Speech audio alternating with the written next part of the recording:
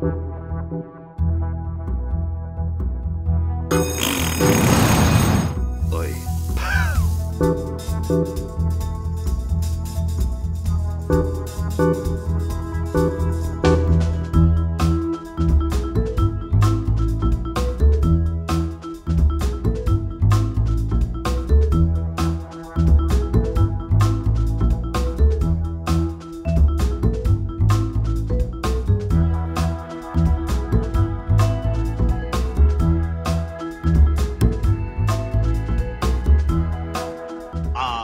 I don't even know where to start with you.